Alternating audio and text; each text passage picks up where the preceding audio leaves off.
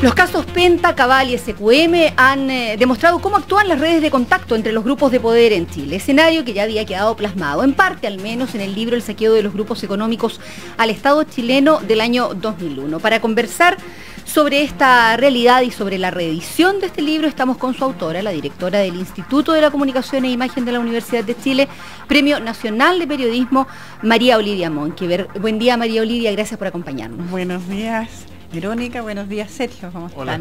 ¿Qué tal? Bueno, eh, usted ha dicho que esto parece una película, o sea, una historia que tiene un largo desarrollo, pero que todavía no tiene un, final. ¿Por qué se puede interpretar como una película la historia de Sokimich? Yo creo que una película, todo esto que, nos, está pasando, ¿no? La historia de Sokimich, la, la historia de Penta, que en este minuto está como en cierto suspenso, eh, porque eh, creo que se van abriendo capítulos nuevos esto, esto es igual que la serie. Se van abriendo capítulos nuevos y nuevos personajes aparecen. Eh, incluso yo te diría que para uno que investigó harto, que reporteó, porque en el caso mío yo desde que venía reporteando en los años 80, es que empecé a ponerle ojo a las, a las situaciones que estaban ocurriendo con las privatizaciones de las grandes empresas del Estado en ese momento. Sin embargo, una de las cuestiones que yo misma me sorprendo es que todavía uno advierte situaciones nuevas, maneras nuevas de hacer negocios, entre comillas, negociados muchas veces, eh, estos, eh, situaciones en que defraudan al Estado, ah, de una manera tan sofisticada que yo creo que los que estábamos incluso siguiendo esto no lo habríamos imaginado. María Olivia, ¿podemos volver al, comienzo, a los años 80, y recordarle a la gente cómo fue que eh, Sokimich o SQM eh, pasó de ser una empresa estatal a quedar en manos de Julio Ponce Lerú, que además, si alguien no lo recuerda, era en esa época yerno o había sido recién yerno de Augusto Pinochet. Bueno, esa historia es una historia sumamente oscura, eh, que los que la vivimos yo creo que la tenemos bastante presente y por eso choca tanto todos estos contactos actuales de Julio Ponce Lerú con tanto político, con amigos de políticos, con familiares, porque la privatización de las empresas del Estado se dio en un marco de dictadura, naturalmente, y, de dictadura muy dura, ¿ah? eh, en que no había prensa, no podríamos estar conversando como estamos conversando ahora, no había parlamento, no había un poder judicial independiente, es decir, hicieron lo que quisieron y como quisieron desde eh, eh, para transferir desde manos del Estado hasta manos de privado. Algunos eran unos simples profesionales, como en el caso de los Penta, ah, que estaban trabajando en algunas empresas, y otro eh, también profesional, pero que no tenía nada más que eh, un título en su bolsillo de haber sido ingeniero forestal, como es el caso de eh, Julio Ponce Lerú, pero que todo su mérito era el casarse con Verónica Pinochet, la hija de Augusto Pinochet y Lucía Luego eh, se separó, pero siguió con los vínculos, siguió con los vínculos económicos y a la vez estableció, puede ser una de las cosas que, que llama la atención, ¿no es cierto?, pero que lo supo hacer en ese sentido, es amistad con los generales de los círculos cerrados cercanos a Pinochet y luego con los Chicago Boys y con gente como Hernán Vigi, por ejemplo, que fue ministro de Hacienda entre el 85 y el 90, después candidato a la presidencia y que para mi gusto fue eh, eh, el gran o uno de los grandes privatizadores, porque fue el que dio la pasada a toda la privatización.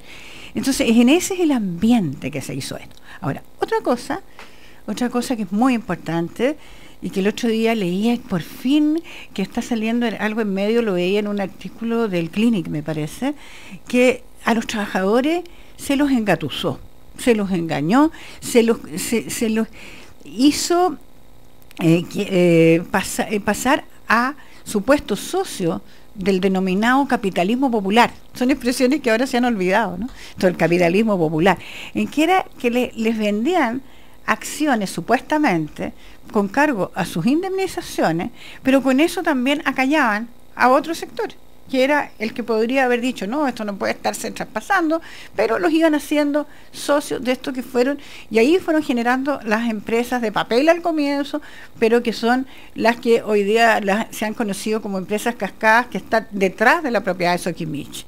El oh. Papá Calichera, Norte Grande, ah, partieron así. Entonces, tenías acallado también a los trabajadores de la propia empresa. Ahora, estas redes de, poder, digamos, que se dan en el mundo político, pero también en el mundo empresarial, como describe María Olivia Monker, eh, Julio César Ponce Lerú se transforma entonces de un profesional, ingeniero forestal, eh, en un acaudalado empresario. ¿Cómo interactúa él con el mundo civil y también con el, con el mundo militar para llegar al estadio en que está hoy día?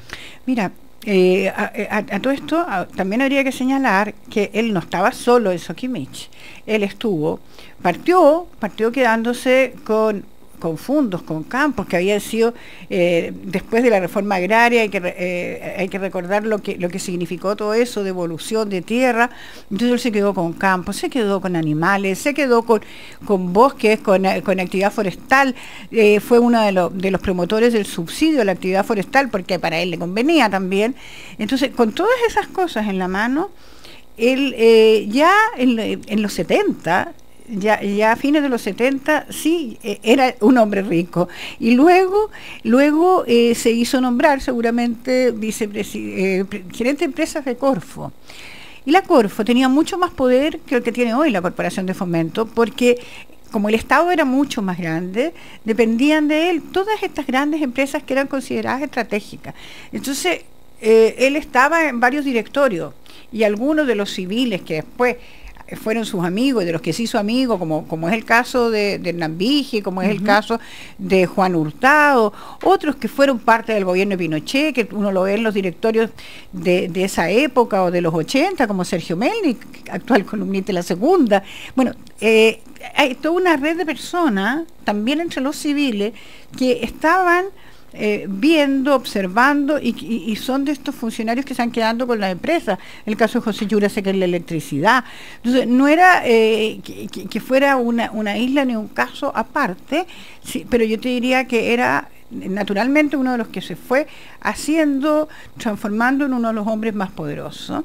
Y eh, sí tuvo una caída, una caída en su momento, porque desde la misma derecha, gente como Ricardo Claro, gente como Alfredo Potlech, eh, lo cuestionaron por enriquecimiento ilícito. Esto mm. fue en los comienzos de los 80 ya, y eh, cuando él estaba en la Corfo. Estuvo que eh, fue tanta la presión que, que hubo en ese minuto en estos círculos, con todas las limitaciones de libertades que, yo les mencionaba, que lo tuvieron que sacar del primer plano. Cuando lo sacaron del primer plano, son sus amigos los que toman eh, los, que toman la bandera, por así decirlo, y que, y que siguen eh, haciendo, haciendo de la suya, haciendo eh, todo lo que pudieron por quedarse con empresas que a todo esto tú tenías que, que en, la, en, la prensa controlada que había, en los editoriales del Mercurio, se hablaba de empresas ineficientes. Eso era otro concepto. Mientras eran estatales ineficientes. Mientras eran estatales Aunque eran manejadas finalmente por un gobierno afín. Pero claro, entonces, pero las encontraban ineficientes para, para qué? Para decir que tenían que privatizarlas. No les invertía el Estado. Entonces el Estado no invertía en una empresa como como la, Sociedad Química y Minera de Chile, que era Soquimich, porque hoy día se le conoce por su sigla, ¿no es cierto? Pero era la Sociedad Química y Minera de Chile, que en ese tiempo era importante tanto en salitre como en yodo, en el potencial que podía tener el potasio. Todavía no se hablaba tanto del litio, que el litio en realidad Ponce Lerú eh, no es de él, ¿eh? lo arrienda a Corfo los yacimientos de los salares. Entonces, eh, pero la, la, característica que tiene, para mi gusto, e incluso lo que digo, eh, lo hace diferente al caso Penta en el sentido productivo, es que acá es mucha la riqueza, la riqueza del país que está que está en Soquimich y en lo que se quedó Poncelerú y en lo que después, claro, a través de sus contactos, de, su, de, todas las redes que va armando, es que fue generando esta gigante empresa que eh, ha sido hasta ahora Soquimich. María Olivia, eh, cuando investigó en el año 2001 usted para el libro, para el saqueo de las empresas del Estado, eh, logró determinar ya en ese momento que hubiese desviación de fondos de empresas como SQM a campañas políticas como se ha eh, descubierto ahora que hay o que hubo? Mira, Verónica, yo, eh, bueno, de partida te quiero decir que la investigación para ese libro es un poco el fruto de lo que yo había venido reporteando, como les decía, desde, desde fines de los 70 para adelante. Y lo primero que a mí me impresionó y que por lo demás destaca todavía ahora es eh, la, cercanía. En cuanto a campaña política, sí, Ponce Lerú se veía más próximo a la UDI. ¿ah? Eh, yo creo, y, y, hasta ahora, si uno ve toda la, dentro de toda este, este, esta cantidad enorme de, boletas, de todo lo que ha trascendido, eh, si uno lo pone por, por en, número, sigue siendo lo principal.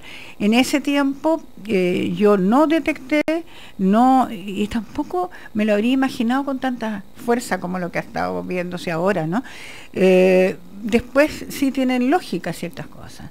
O sea, tiene lógica el hecho visto en perspectiva ¿ah? y en retrospectiva, que eh, de, que no se investigó, no se revisó lo que había ocurrido con las empresas del Estado. Eh, ah, eh, hubo comisiones investigadoras. No se investigó ya en democracia, dice usted, por parte de la concertación. En democracia, claro. ¿Qué estaba pasando allá, ahí? ¿Qué, qué, ocurría? ¿Qué conversaciones había? Se habló de pactos, de la concertación con, eh, con los militares, se habló... Mira, pero como te digo, visto con una retrospectiva, uno podría pensar, y habría que investigar, qué relaciones directas hubo a quien concretamente eh, pudo eh, favorecer Ponce Lerú, pero me da la impresión eh, que, que fue sembrando ya desde ese tiempo. Porque si uno se pone en, esto ya, ya, ya, es en la hipótesis, ¿no es cierto? Se, se, pone en el papel de él, si es que se pudiera poner.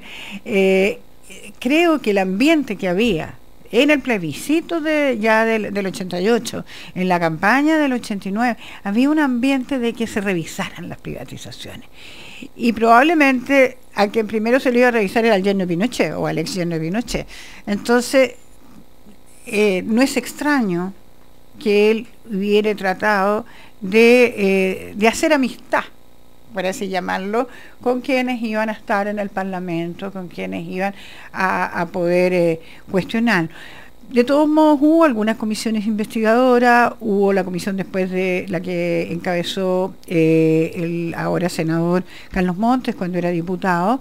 Sin embargo, de ninguna de esas comisiones se transformó en acciones eh, que fueran a replantearse cuán oscuras habían sido estas, estas privatizaciones y, qué le había implicado de pérdida al Estado de Chile. Yo creo que ahí hay un punto que no se ha analizado eh, y, dentro de toda esta locura de boletas y de cosas no se ha, analizado como, como en toda su importancia.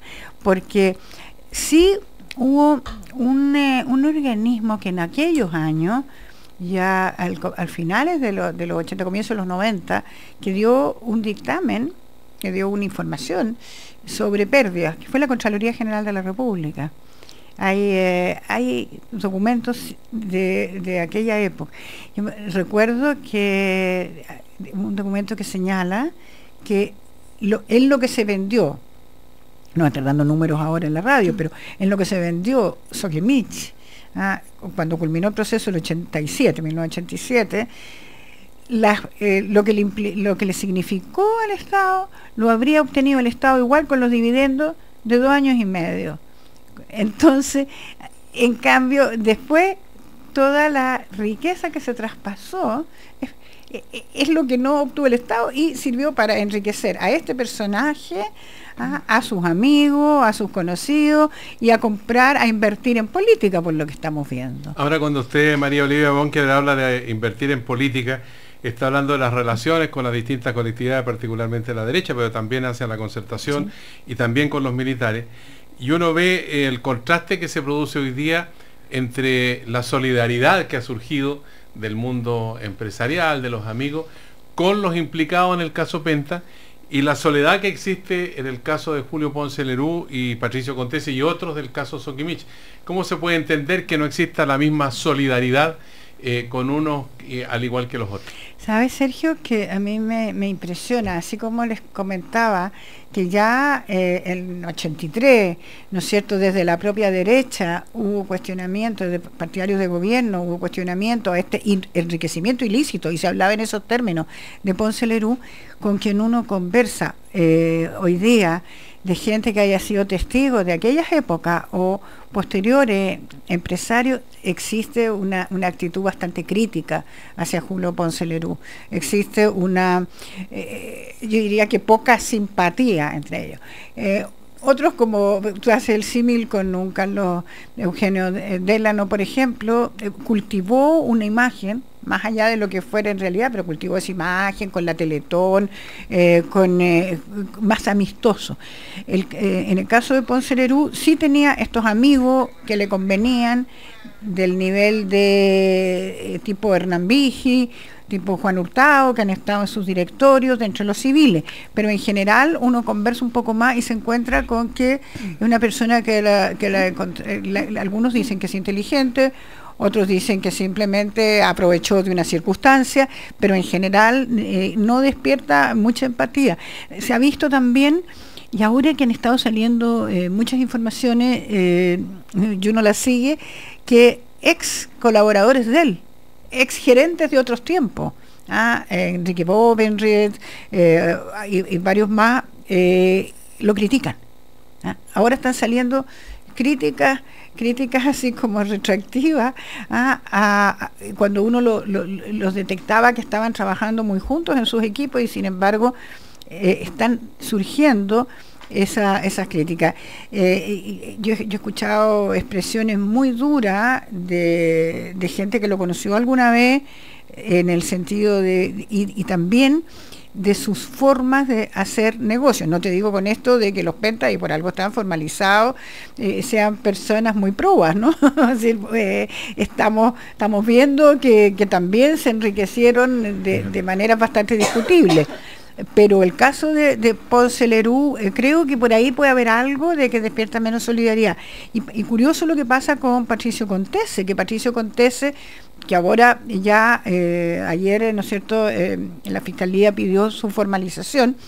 Patricio Contese es un íntimo amigo de Ponce Lerú de toda la vida, o sea, desde que, que, después del golpe, cuando Ponce Lerú se empieza a instalar con, en, en todas estas en todas estas situaciones de privilegio, ah, en lo forestal primero, como Contese también es ingeniero forestal, es un poco menor que él, él eh, eh, eh, Ponce Lerú era muy amigo de su hermano, y después tuvieron una carrera entre comillas carrera, ah, muy, muy en paralelo, muy juntos, y eh, Contese llegó a tener responsabilidades muy altas también en la dictadura. Estuvo, estuvo en la CAP, en la compañía de Ser Pacífico, que después también se privatizó en los directorios, fue vicepresidente Codelco, ¿ah?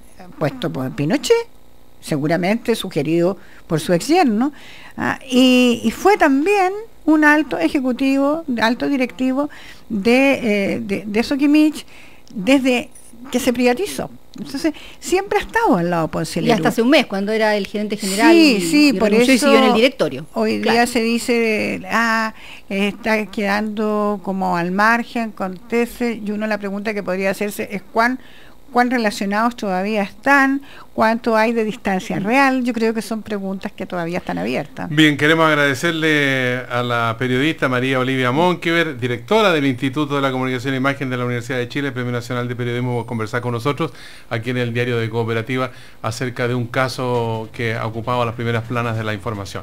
Muchas gracias. María Olivia, muchas gracias, buen día. De nada, para que tengan buen día.